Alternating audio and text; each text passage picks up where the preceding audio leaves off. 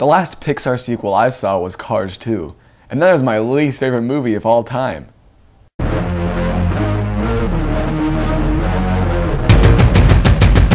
Monsters University, directed by Dan Scanlon, with the voices of John Goodman, Billy Crystal, Helen Mirren, uh, Steve Buscemi.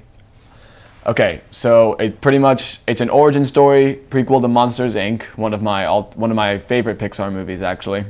It pretty much follows Mike Wazowski as he goes to Monsters University, the premier scaring college, as he wants to be a scarer, and Sully, voiced by John Goodman, how they clash. Like Sully's kind of laid back. He's the I have talent, I don't need to work sort of person, while Mike Wazowski is the exact opposite. He doesn't really have much talent, but he works and works and works, and that's why he does well. I did enjoy this movie a lot. It was really, really fun. I had a great time watching it. It was actually really funny. Like, I found myself at a lot of points laughing really, really hard. I do feel like this was geared more towards kids of my age who did grow up with the first Monsters Inc. movie and now just kind of, it was a bit of fan service. I did love it, but I saw it with a couple kids that were my age and we were laughing by far the hardest out of a theater filled with mostly children.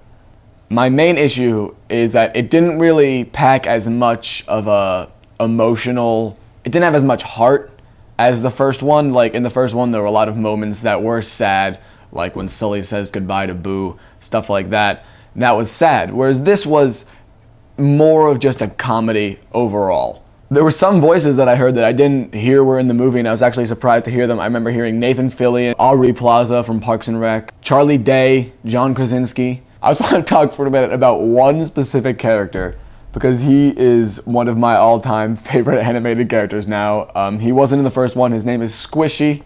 He's this little guy. And he almost had me peeing my pants. I was just, he was hilarious in and out. Almost everything he said was just fantastic. His mom was funny too. I actually liked pretty much all of the new characters that they brought in, which is weird for a sequel. Like Squishy, I think Don, um, Terri, and Terry. And they were all really, really fun. It was just a really fun movie. I enjoyed it. Kids liked it. The kids were laughing. Like how I said earlier, we were laughing harder. We were laughing harder, but the kids were still laughing.